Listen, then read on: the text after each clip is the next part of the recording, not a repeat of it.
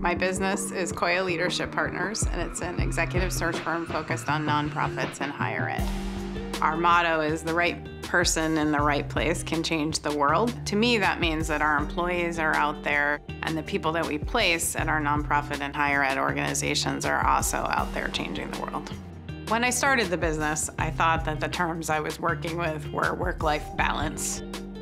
Now I use the term work-life integration when you love what you do and you love who you're doing it for, it's kind of mixed together. I learned so many things at UNH. I took an intro to women's studies class and it really changed my whole world.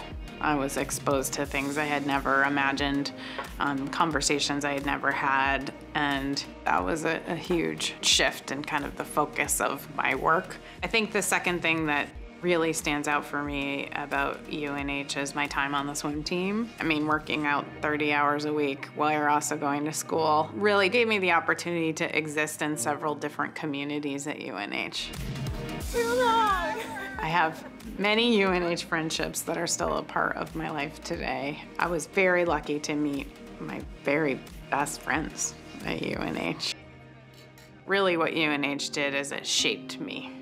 I went in thinking I was going to be a swimmer, and I was going to move to New York City, and I was going to become a magazine editor.